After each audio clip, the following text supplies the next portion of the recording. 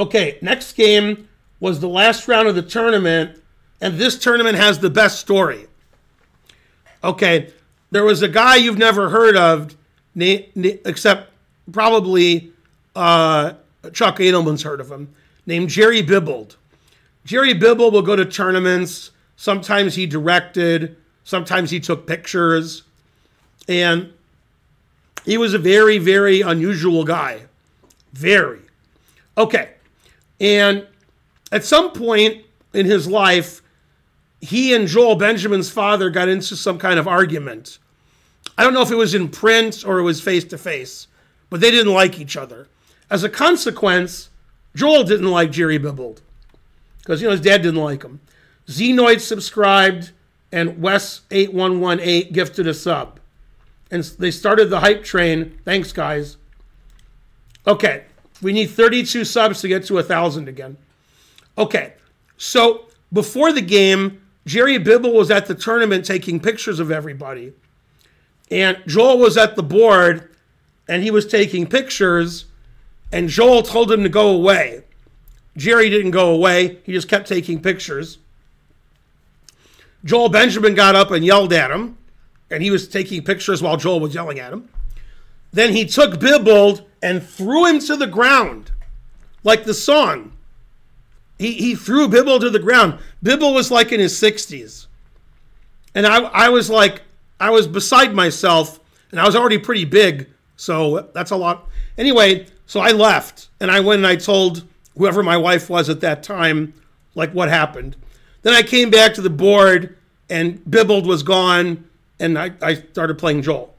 And then this game, which had all that who you know, all that brouhaha happened beforehand. This was on Joel's birthday. I've never had my opponent physically attack somebody during the game or before the game. Xenoid gifted a sub. Wow, thanks, Xenoid.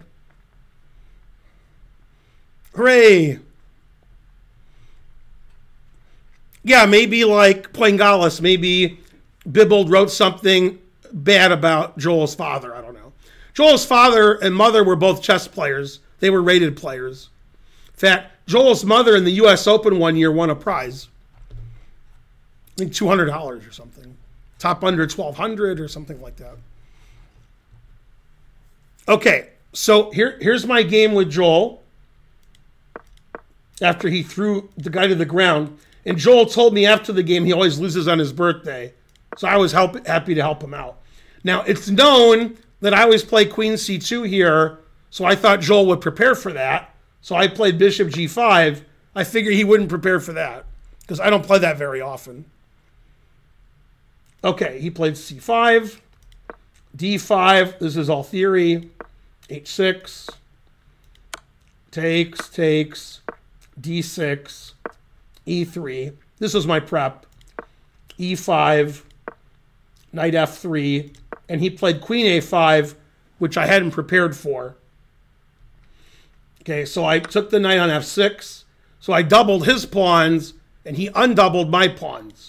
Although he won a pawn.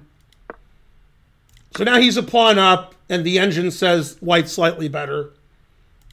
Played bishop E2. Bishop F5. The engine doesn't like bishop F5.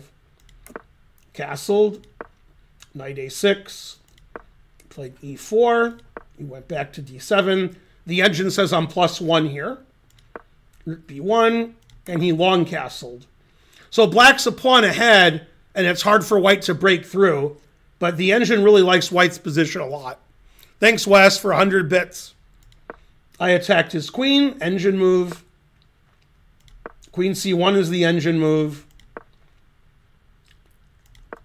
Played rook a3. Queen b2. King b8's the engine move.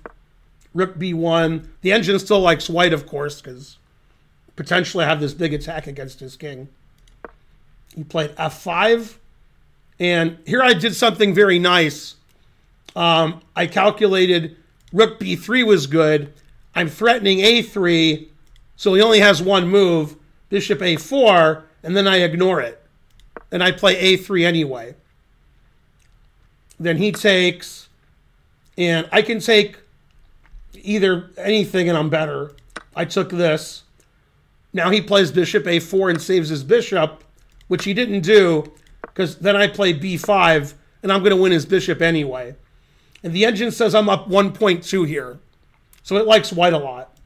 He took on b4 instead. Notice black still has all eight of his pawns. Then he took on e4. And I should play knight takes e4, and I have a big advantage. It says 1.4. But I made a mistake. I played queen a4.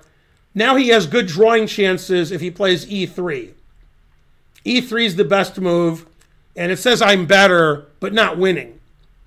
That was his last chance. He played a5. Now he's lost. Knight b3. He can't save his queenside pawns. King c7. So if I take with the knight, he plays rook a8. Rook c1, threatening c5. c5 I did play. Played queen a7. I played queen b5. That's the best move. Now he can resign because all my pieces are coming at his king. Played rook d8. Queen c4. So when I take, I'm doubled up on the c c6, threatening c7, and he prevented c7 in a very funny way.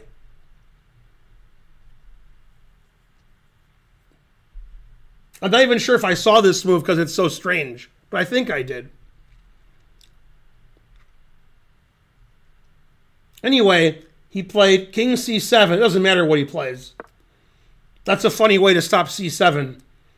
Then I took with check, and he resigned here because if he plays king takes, queen c7 is mate.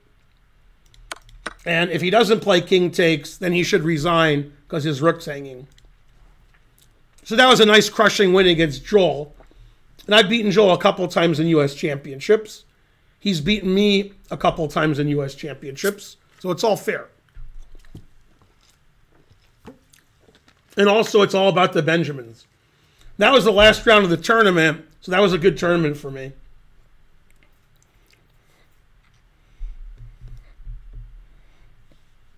Let's see, let's deny that because it's so stupid. And so forth.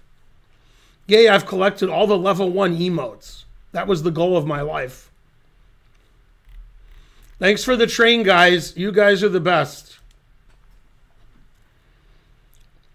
Was the U.S. Championship weaker then? It was even stronger. Nakamura played in this U.S. Championship also. But Caruana, uh, I think, played for Italy, and Dominguez played for Cuba, so they didn't play. Although I'm not sure how good Caruana was in 2006. He was pretty good, but, you know, obviously I, I would have beaten him easily. That's correct, Pat.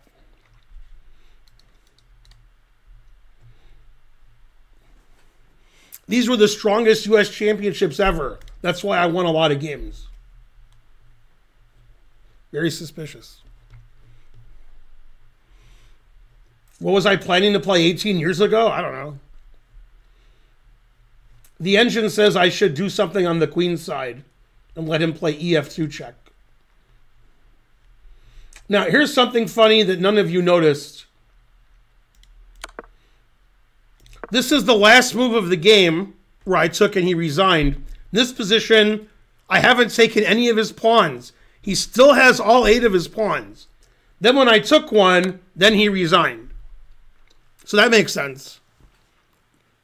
Even giving up one pawn was too much for him.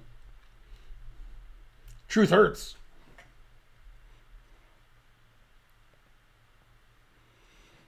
Somehow we have a lot of viewers, but I don't know why. Was there a year when you could beat Hikaru? No.